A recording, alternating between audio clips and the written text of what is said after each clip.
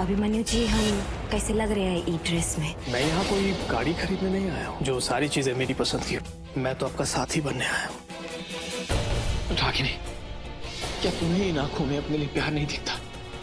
प्यार एक बहुत अच्छा एहसास होता है मिस्टर अनुराग। हम बता नहीं सकते कि कितना गर्व महसूस कर रहे हैं तुमको ये काला कोट में देख हम ना अभी दही चीनी लेकर आते हैं। हर काम शुभ होता है उससे अभी आते हैं।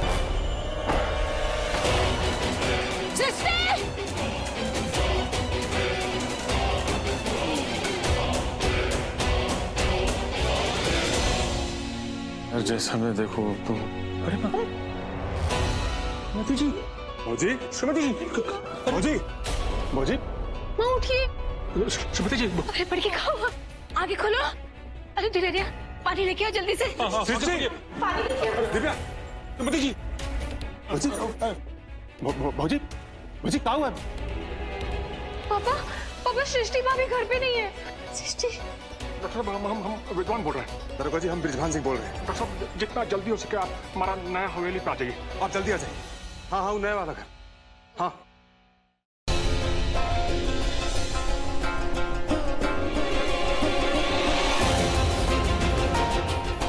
अभिमन्यु जी हम कैसे लग रहे हैं ई ड्रेस में?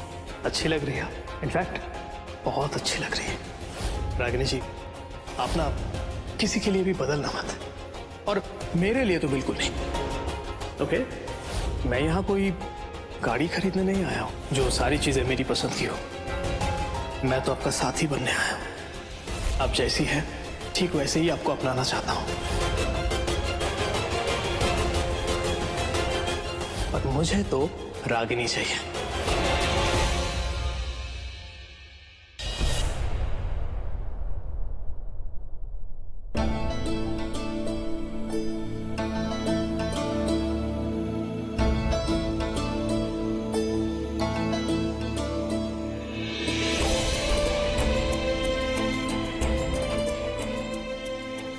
रागनी की आँखों में जो दर्द पड़ सकते हैं, आज वही दर्द अनुराग बाबू की आँखों में देख रहे हैं। लगता है अब हमें कुछ करना पड़ेगा।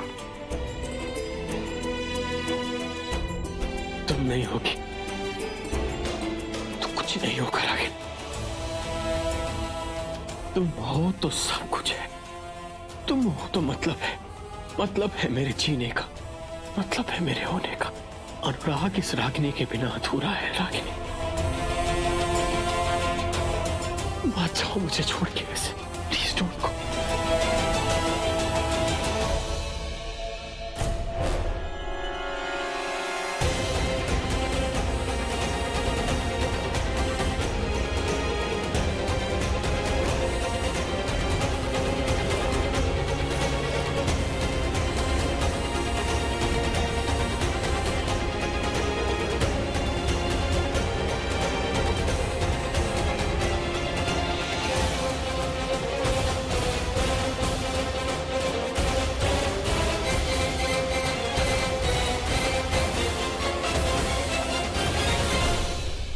अरे अनुराग बाबू, आप जा रहे हैं।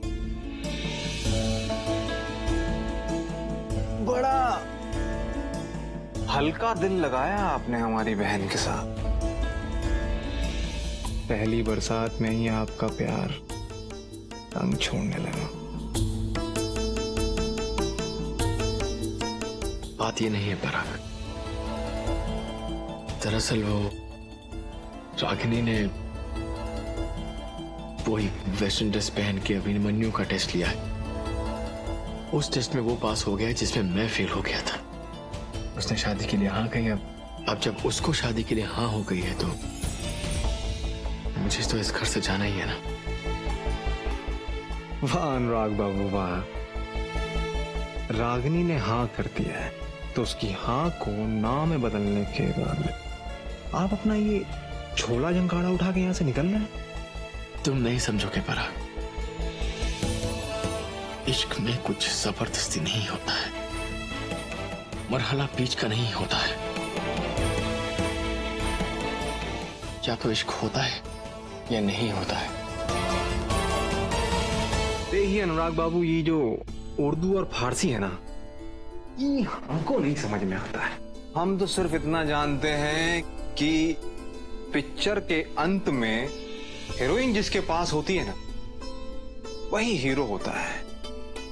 तो फिर आप काहे ज़बरदस्ती साइड हीरो बनने पे तुले हुए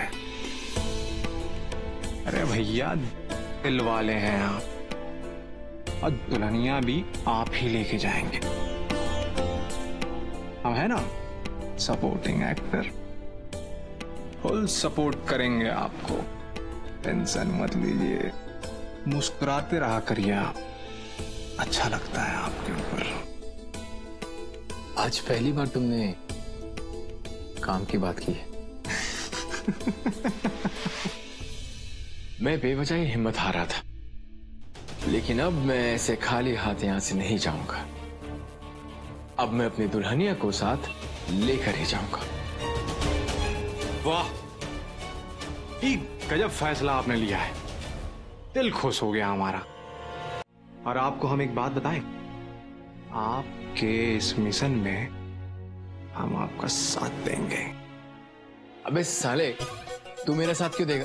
साले? मेरा मतलब है रिलेशन वाला साला मतलब जीजा साला यार साले साहब। अच्छा अच्छा अच्छा अच्छा। ये अच्छा था। साले साहब आप मेरा साथ क्यों देंगे? हाँ? हमारी अम्मा जो है ना बड़ी सीधी है।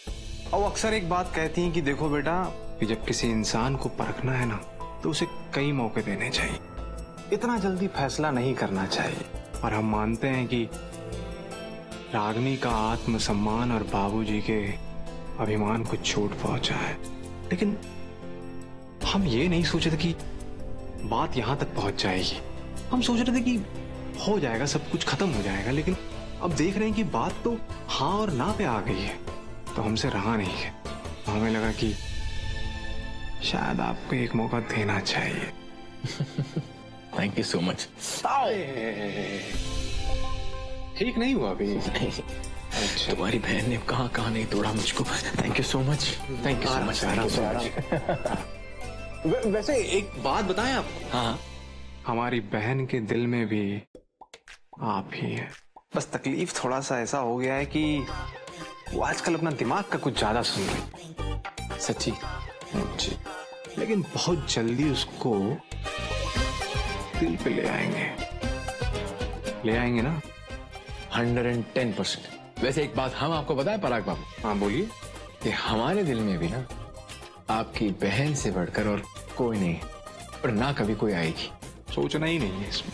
तो डायरेक्टर साहब इस स्टोरी पे एक पिक्चर बननी ज़रूरी है। हाँ हाँ तो बन तो रही है। लेकिन उसमें हीरो मैं होना चाहिए। अरे आप ही हैं इतना शक काहे पाल के रखते हैं। अब शक नहीं है। नहीं ना। अब तो कंफर्म है।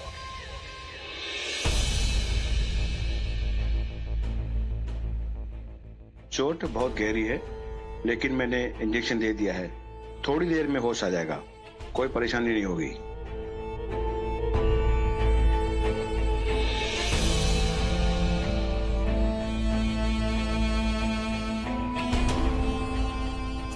को तो समझ नहीं आ रहा है बड़का फूफा की क्या हो रहा है सब। हमारा मन बहुत ते घबरा रहा है। आप कुछ पता लगाने का कोशिश करिए ना। घबराने से कोई फ़ायदा नहीं है दीदी। कल तक जो सब लोग बैजू पे रहम कर रहे थे ना तो आज उसका नतीजा देख लीजिए। पापा आपने बैजू का नाम दिया ना पुलिस में? हम फ़ोन करके बता दिए पुलिस को। चलते हैं ना थाने। वो लोग जाँच पड़ताल किए होंगे कोनो ना कोनो खबर तो मिला होगा ना उनको। बात तो सही है हाँ, ठीक है। एक काम करो देखो हम दोनों का एक साथ वहाँ जाना ठीक नहीं रहेगा। किसी एक को यहाँ रहना चाहिए। ध्यान रखना इनका हाँ। जी बेटा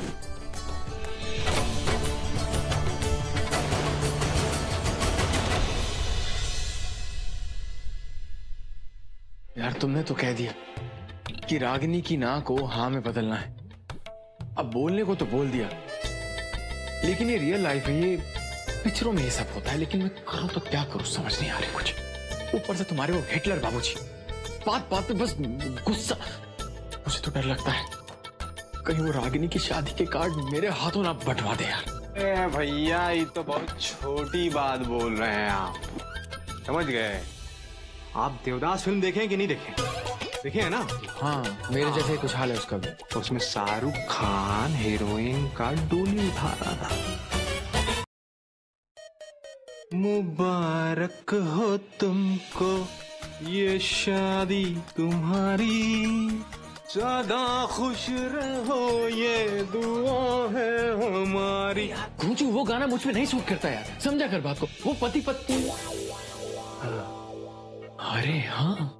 हाँ। मैं तो रागिनी का पति हूँ। अच्छा। तो अब आपको समझ में आया कि आप दोनों भी पति और पत्नी हैं। ये तुमको मालूम है कि मैं रागिनी का पति हूँ। हाँ।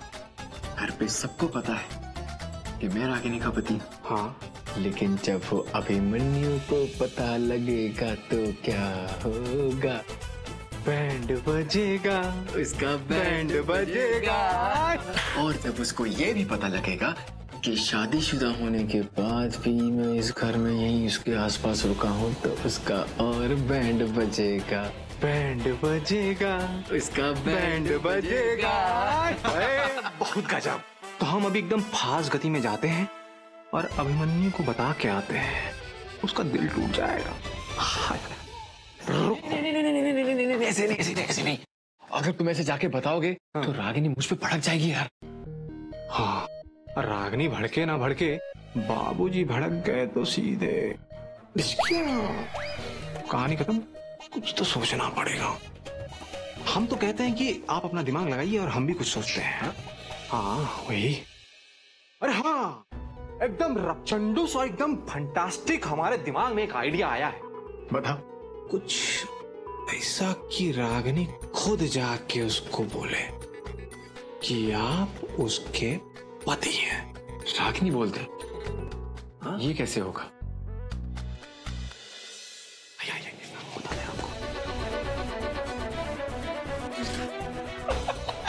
नहीं हाँ? डन डन डन डन एकदम सेटलमेंट आइए गले में। बोल चलो चल। राजू भैया। हाँ। तो भैया हमको लगता है कि वो क्या नाम है गिरधरिया ने तो कंप्लेन वापस ले रहा था ना हमारा? हाँ। हमको लगता है ना कि वो कानून वाली मैडम है ना उसके एफ़ पर हम सलाई ससुराल आ गए फिर से। सारा सारा मेहनत बेकार हो गया हमारा। आप खुद को सांप से कटवा दिए और हमको वो बुड्ढे के पास समाज सेवा करवाने के लिए भेज दिए। लेकिन क्या हुआ? बिना मार खाए तुम दो मिनट चुप नहीं रह सकते हैं? बिना समझे खाली बग बग बग बग किए जाते रहते हो हैं? नागिन डांस चालू कर देते हो अपना तुम अपने ज़ुबान से। समझो पहले बात। मतलब हम तो सोच ही नहीं पा रहे हैं कि कौन कर सकता है ऐसा? अरे हम लोग तो पितृ पूजन के लिए गए थे। वहाँ से जब लौट के देखा तो सृष्टि बहू घर से गायब है। उसकी किताबें फैली पड़ी हैं।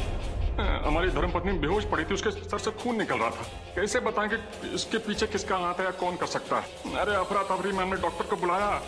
हे मामा इधर बताओ तो जरा ये विद्वान जी कहा आए यहाँ पे? अरे इनकी बहू है ना सृष्टि मैडम। उनका किडनैप हो गया है।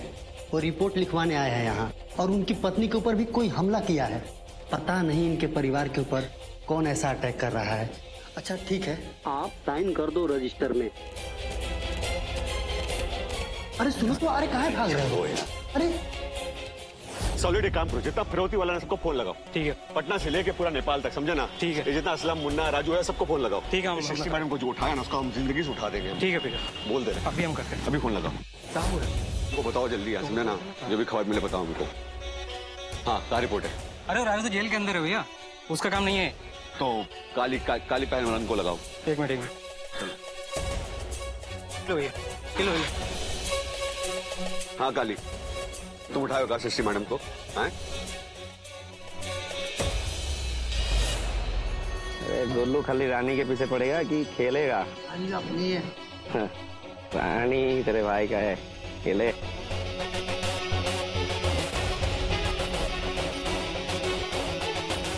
मुन्ना अबे कौन बे हम जानते सारा तुम बहुत हरामी है। सच सच बताओ हरिनगर से कोई लड़की उठाए हो? भाई भाई हम गाँव से माल नहीं उठाते। और तुम लोग मुझको जानता है सृष्टि सिंह को कौन उठाया है।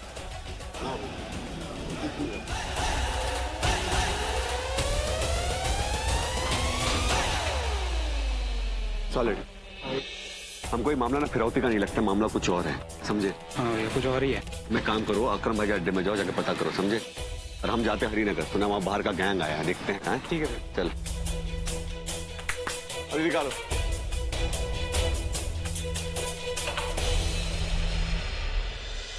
ठकुरायन हम कह रहे थे कि अभिमन्यु जी जब हम सबको पसंद आ ही गए हैं और बेटा जी ने भी हाँ बोल दिया है फिर पंडित जी को विचार करने के लिए बुलाने का क्या मतलब है? अरे आप ही कह रहे थे ना कि इस बार हर चीज़ ठोक बजा के देखनी। तो हमने सोचा कि ये ग्रह नक्षत्र का खेला भी समझ लेना चाहिए। पंडित जी आप मुहूर्त भी बताइए। जी ठाकुर साहब हम मुहूर्त और तिथि भी निकाल लेते हैं। तिथि हम तय कर चुके हैं। तुम अपना माथा उसमें मत लगाओ। तो बस मुहूर्त बताओ। इनका बस चले तो ये आज क्या अभी की अभी शादी करा थे लेकिन ये मेरा साला कहाँ रह है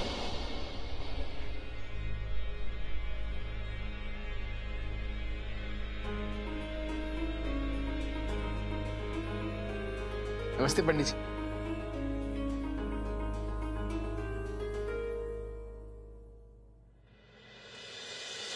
चाय पीजिए।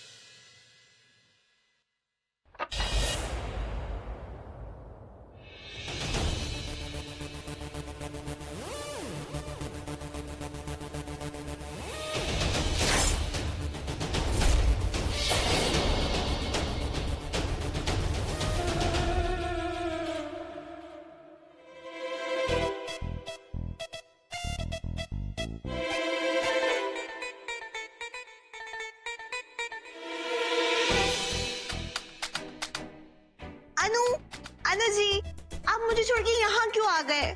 चलिए ना हम चलते हैं। मुझसे बात करें? अनु जी आप ऐसे क्यों बात कर रहे हैं? अभी तक नाराज़ है मुझसे। पिंकी पापा को बोलो ना कि साथ में चले।